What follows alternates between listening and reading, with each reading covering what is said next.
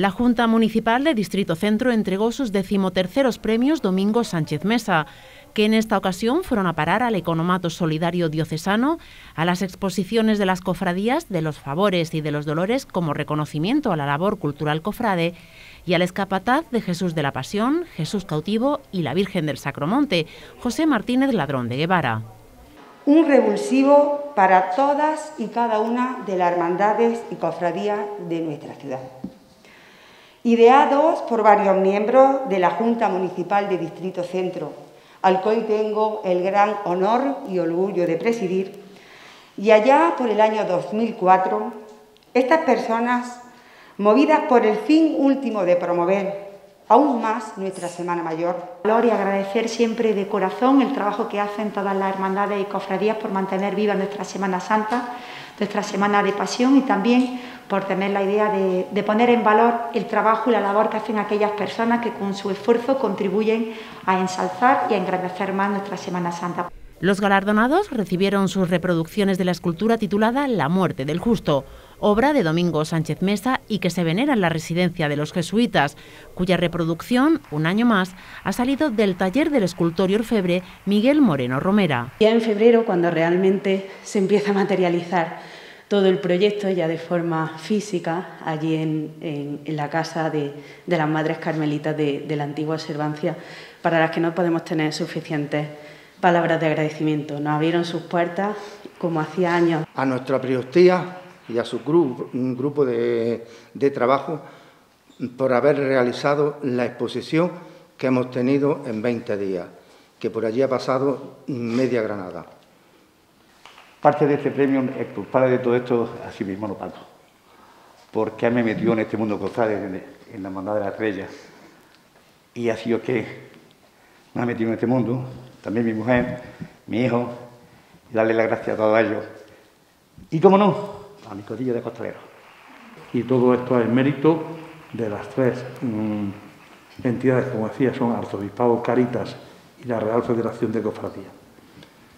También mmm, no puedo dejar de pasar de recordar y darle el nombre de todos los, mmm, todos los voluntarios que han pasado, que son más de 50 voluntarios los que han pasado por nuestro economato. El alcalde de la ciudad, Luis Salvador, indicó en sus palabras la gratitud de la que se han hecho meritorias las cofradías y en especial los galardonados de este año. El acontecimiento que estamos viviendo hoy es un acontecimiento muy bonito, ¿no? Porque cuando hablamos de la Semana Santa de Granada, hablamos de pasión, hablamos de sufrimiento, de laboriosidad, de entrega, de solidaridad, hablamos de una dedicación de muchísimas personas durante todo el año entregadas a una forma de vivir y a una forma de comprometerse con el conjunto de la sociedad. El acto, celebrado en el Carmen de los Mártires, contó con la compañía de la concejala de Participación Ciudadana, Eva Martín, y de las ediles María de Leiva por el Partido Socialista y Mónica Rodríguez por Vox, además del vicepresidente de la Federación de Cofradías, Armando Ortiz, y diferentes representantes de asociaciones y familiares de los galardonados. El grupo joven de la Cofradía de la Estrella costeará la realización de su nuevo guion de juventud gracias a distintas aportaciones y los ahorros procedentes de ventas de distintos artículos.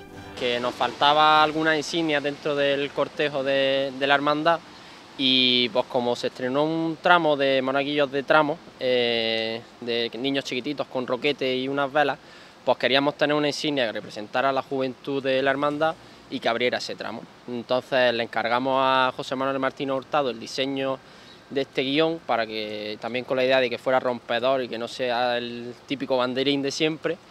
Y por la relación que tenemos con la congregación de hijas de Cristo Rey, queríamos representar en su cartela principal a Cristo Rey Niño, que así es como va a ser. El guion va a estar bordado en hilo de oro y con la cartela principal en un alto relieve en madera un nuevo estandarte con unas características muy personales y con forma de lábaro. Se va a intentar realizar durante todo este verano y parte del invierno, porque como es un lábaro que lleva un, una chapa de metal y va, digamos que la, la unificación de los tres artesanos compleja, pues va a llevar tiempo, así que esperamos, si Dios mediante, hay Semana Santa el año que viene, estrenarlo en la calle. o en la función principal. El grupo joven de la Cofradía de San Cristóbal tiene el empeño de poder estrenarlo en la próxima salida penitencial y, a ser posible, en el Jueves Santo de 2022. Lo que, pues, con estos años que llevamos haciendo pulserillas, banderolas, mm, otras de chapa y demás, pues se costea por el grupo joven. El trabajo de tres artesanos, la idea de Cristo Rey del Universo procedente de la capilla de San Gregorio Bético y el trabajo de los jóvenes de la Cofradía de Jesús de la Pasión se unen para darle forma a la ilusión de esta nueva insignia que figurará delante del tramo infantil de la Hermandad.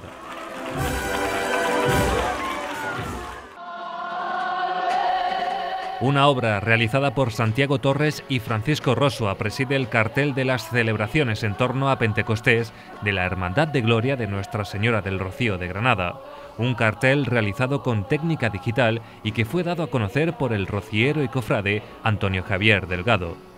En él se puede contemplar nuestra sede canónica en la que ahora mismo nos encontramos, la ermita de los tronos de cualquier rociero, unida por una alhambra que vuelve a hacer de sostén y de camino de nuestro bien más preciado, nuestro sin pecado, al que dos arcángeles rocieros del retablo del santuario marismeño le cantan y tocan como no podía ser de otra manera.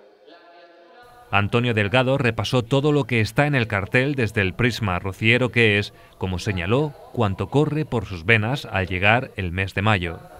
El cartel anunciador de un rocío 2021 que como el año pasado se quedarán para siempre en nuestra memoria, como los rocíos en los que un bichito microscópico nos quitó los caminos, nos quitó los abrazos, nos quitó las hileras de carretas, los cantes, las candelas, los cohetes y los tamboriles.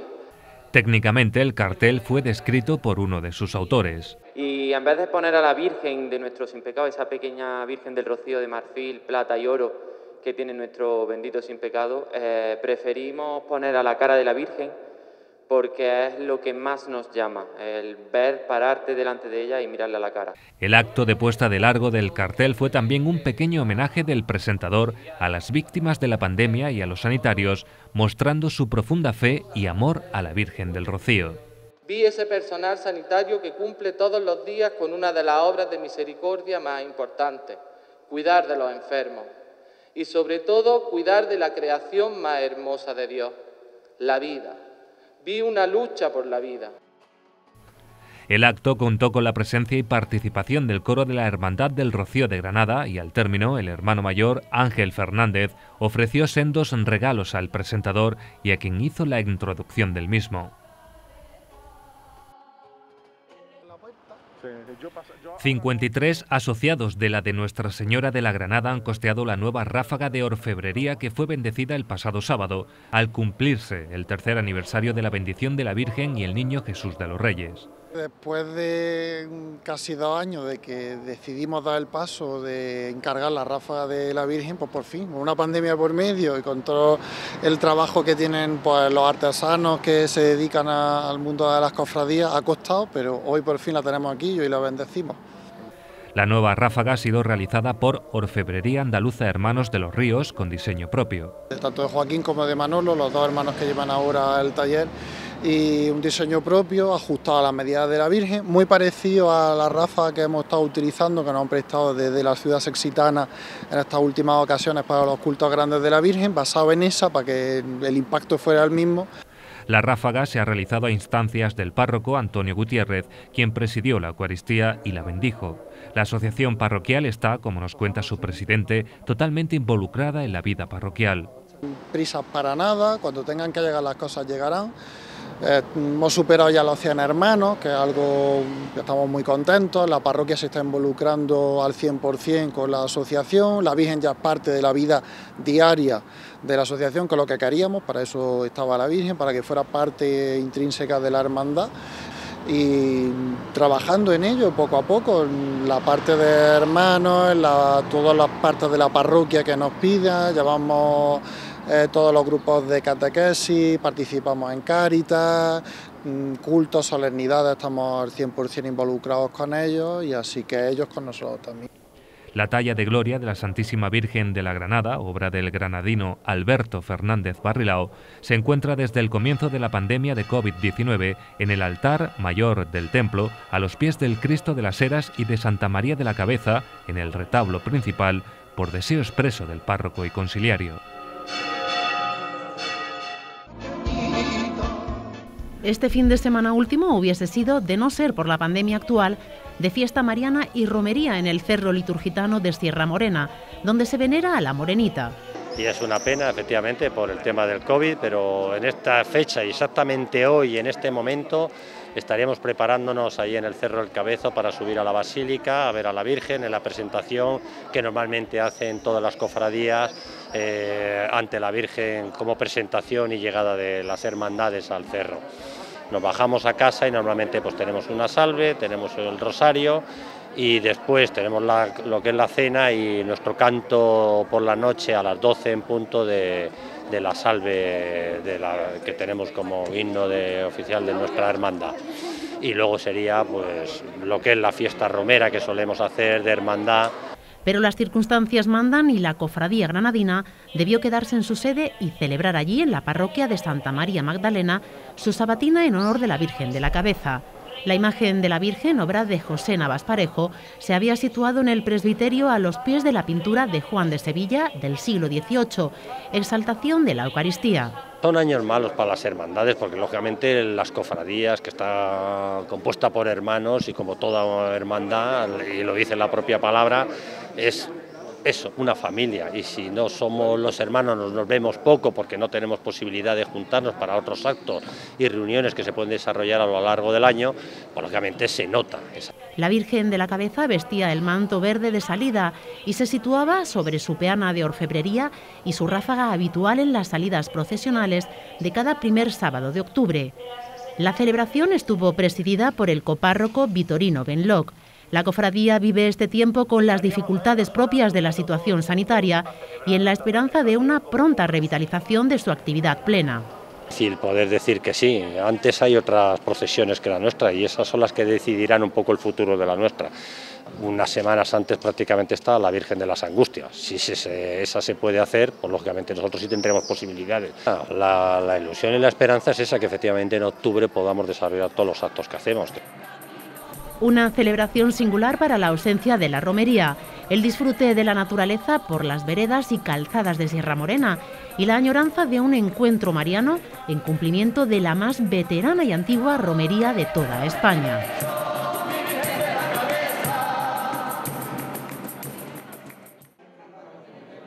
Cerca de 3.000 artículos de alimentación y cuidados infantiles han recaudado las Hermandades de Granada a través de sus vocalías de caridad en la última campaña de Cuaresma y Semana Santa. La Federación de Cofradías ha coordinado estas recogidas y reparto. El esfuerzo eh, que han realizado las vocalías de caridad de las Hermandades de Semana Santa, con el apoyo, pues, como no, de su hermano, de sus cofrades, que son los que a fin de cuentas pues han aportado todo este magnífico material y que en la tarde de hoy, después de este intenso trabajo, pues se le va a repartir. En la Casa de Hermandad de la Cofradía de la Redención se han recepcionado los artículos que van desde productos de higiene, silletas, silla para vehículos, leches de continuidad, toallitas, potitos, cereales, cremas, pañales, champú y gel de baño. Aquí tenemos más de 3.000 artículos eh, que en una valoración eh, incluso por debajo de mercado, pero eh, muy próximo a los 25.000 euros es lo que estáis viendo que ahora mismo tenemos aquí. Todo esto ha sido distribuido a cuatro asociaciones, Red Madre, Familias Solidarias, Calor y Café y Fundación Amaranta. Esto ha sido una ayuda tremenda, ha sido como, como, como, vamos, como una lluvia del cielo porque este año se ha pasado muy mal porque no se ha podido hacer ni conciertos, ni cenas, ni organizar nada. Y entonces la verdad es que lo que se ha recibido de las cofradías ha sido pues, pues una bendición, nos ha, ayudado a sacar a estos niños adelante. Las vocalías de caridad propusieron esta acción social conjunta.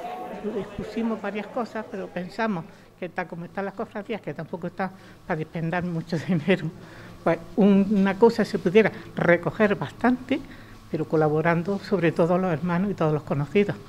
Estamos ahora mismo pensando en, la siguiente campaña, muy ilusionados y en cuanto se reparta todo esto pensaremos rápidamente en la siguiente. Los niños sabemos que todo el mundo se sensibiliza mucho con, con, con el tema infantil. No sabemos si va a ser infantil o va a ser, pero seguramente vaya por ahí. Tanto la Federación de Cofradías como las mismas vocalías ofrecieron datos a través de las notas de prensa con algunas cifras distintas, coincidiendo en la intención de continuar procurando tareas conjuntas benéficas para atender demandas puntuales que precisen de la colaboración de las hermandades. Sin Rosario de la Aurora por las calles del barrio de San Matías y sin el contacto tradicional, la Cofradía de Jesús de la Paciencia celebró el pasado sábado el comienzo del mes de mayo mariano en honor de su titular María Santísima de las Penas. Nosotros, aunque no celebrándolo de la manera que nos gusta, que es con la Virgen por las calles de nuestro barrio. El pasado sábado se celebró la ofrenda floral a la Santísima Virgen y la Eucaristía, adelantada del domingo primero de mayo para evitar mayor número de traslados. Bueno, para nosotros un día muy tradicional, somos de las pocas hermandades que celebran un Rosario de la Aurora eh, por las calles de la feligresía del barrio. Este año, por desgracia, no hemos podido celebrarlo, al igual que el pasado, y lo hemos adaptado un poco el día para celebrarlo con mayor facilidad para los hermanos y de la forma que fuese más, más fácil para ellos pues el desplazarse hasta la iglesia. Por eso se ha, se ha trasladado a la tarde con este rato de veneración previo y de ofrenda floral a la Virgen, el Santo Rosario y la Eucaristía del mes de mayo de ofrecida a María, que también la vamos a celebrar. Fernando García concluye en esta semana su último curso cofrade al frente de la Hermandad. El 28 de septiembre de 2013 resultó elegido y ha permanecido al frente de la corporación durante ocho años. En septiembre próximo será el cabildo electoral.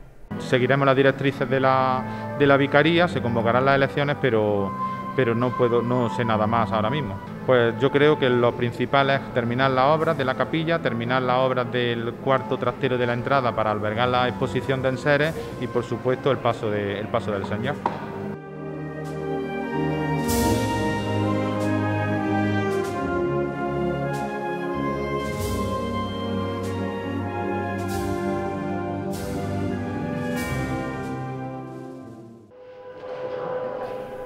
Un dosel rematado en semicircunferencia coronaba el altar de veneración que con motivo del décimo aniversario de la coronación canónica de María Santísima de la Aurora, su equipo de priostía dispuso en la pasada jornada. Se ha intentado montar un altar lo más digno posible, eh, pues trayendo a, intentando que la Virgen estuviera lo más cercana al pueblo e intentando, pues bueno, pues un poco rememorar por esa mm, efeméride de esos 10 años que, se han cumplido ahora, intentando pues que la, que la Virgen estuviera un poco eh, pues como estuvo ese, ese día 8 de, de mayo. Durante toda la jornada, la imagen de la Virgen presidió el templo de San Miguel Bajo y Santa María de la Aurora, custodiada por dos paños de 17 candeleros de orfebrería y cera. Está en un momento, seguimos en un momento dulce, es verdad que desde eh, la época de Jesús Muro hasta ahora pues la hermandad creemos que ha ido creciendo un poco tanto en hermanos como en, eh, en la vida esa de hermandad. La Virgen se tocaba con la corona de coronación canónica obra del taller de Juan Borrero de Sevilla, así como la medalla de oro de la ciudad de Granada en el pecho. Cuatro jarras de flor, principalmente rosas en distintas tonalidades, era el sencillo adorno que se remataba con un cojín a sus plantas y las figuras en orfebrería de San José, titular de la parroquia albaicinera, y San Miguel Arcángel, patrón del barrio. La Hermandad de la Aurora afronta a partir de ahora su proceso electoral. Ahora mismo, bueno, el tema de candidatos todavía está un poco en el aire, todavía no se han eh, fijado todavía lo que son todos los, hermanos electos. Fue alta y numerosa la participación de los fieles y hermanos que terminó con la Eucaristía. El domingo la Hermandad Albaicinera celebró función mensual con ofrenda floral y de alimentos que la Hermandad destina a la acción social de la misma. Y la verdad es que ha tenido bastante éxito entre los hermanos ya que representa muy bien lo que hemos vivido este año a nivel de la gente mayor y el sufrimiento que ha tenido y cómo se han refugiado en la oración.